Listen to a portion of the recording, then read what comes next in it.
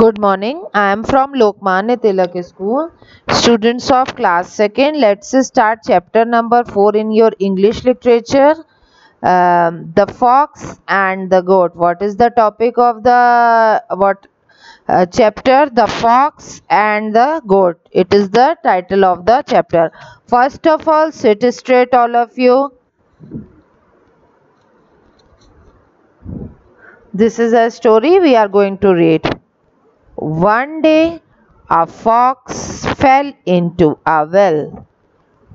One day a fox, fox जो थी वो कहाँ गिर गई? वेल में. इट वॉज़ नॉट डीप वो बहुत गहरा नहीं था.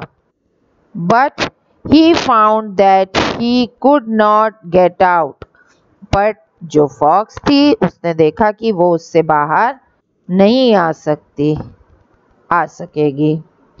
After he had been in the well for some time, a goat came by. She was very thirsty.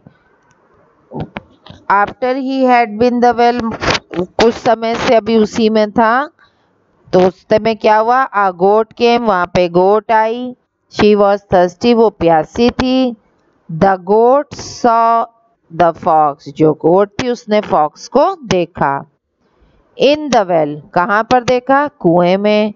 And thought he had go gone down to the drink और उसने सोचा कि ये जो फॉक्स है, वो पानी पीने के लिए नीचे कूदी है, गई है।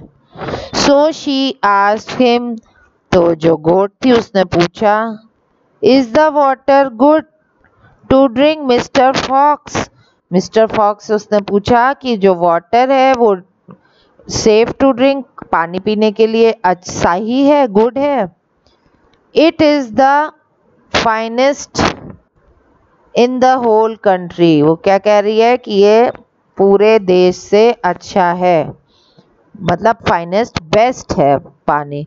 सेट द क्राफ्टी फॉक्स जो फॉक्स थी, उसने ऐसा कहा। Jump in and try it नीचे आओ और आके जंप करो और पी लो. ट्राई करो. There is enough water for both of us उसने कहा कि वेल में जो वाटर है वो इनफ है, वो हम दोनों के लिए. विदाउट थिंकिंग बिना सोचे द थर्स्टी गोट जो प्यासी गोट थी जम्प्ड इन कूद गई एंड बिगेन टू ड्रिंक और पानी पीने लगी।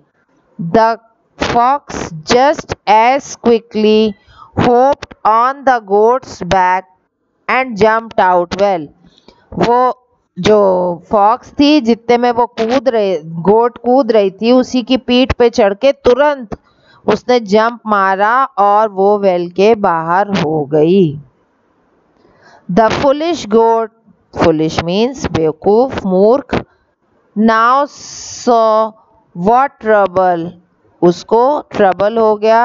वो प्रॉब्लम में आ गई। क्यों प्रॉब्लम में आ गई? क्योंकि वो वेल में थी। अब वेल से वो कैसे बाहर निकले?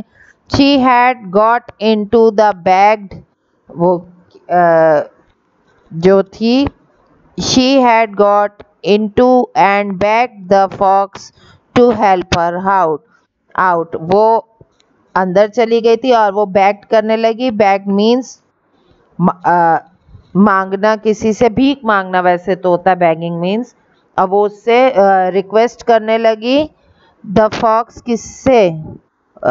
To help her out fox से गोट हेल्प कर, मांगने लगी कि उसको बाहर निकालने के लिए मदद करे।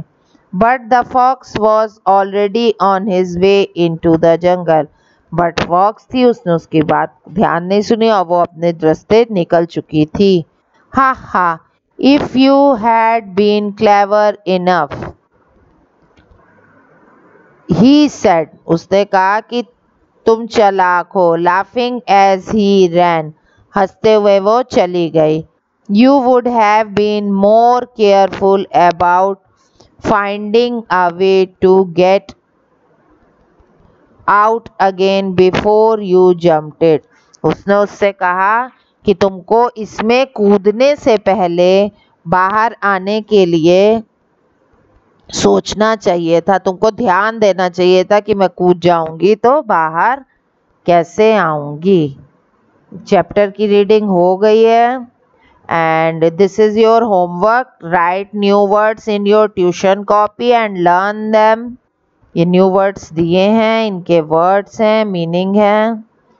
इसको आपको क्या करना है? Write in your tuition copy इसको आपको ट्यूशन कॉपी में उतारना है और लर्न भी करना है। Okay children good day next video we will finish this chapter